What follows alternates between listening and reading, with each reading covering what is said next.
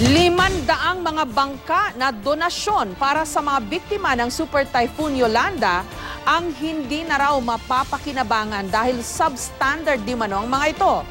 Galing sa isang pribadong kumpanya ang mga bangkang ibibigay sana sa mga mangingisda sa Leyte. Pero ayon sa Regional Office ng DILG o ng Department of Interior and Local Government sa Eastern Visayas, hindi raw seaworthy ang mga bangka at hindi rin accredited ng BIFAR o ng Bureau of Fisheries and Aquatic Resources ang mga gumawa nito. Nabubulok na raw ngayon sa compound ng DNR sa Palo, sa Leyte, ang mga bangka.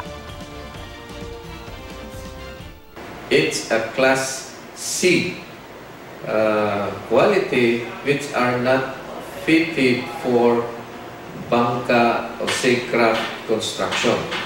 And then the design also, they have the same findings uh, na mayroong depekto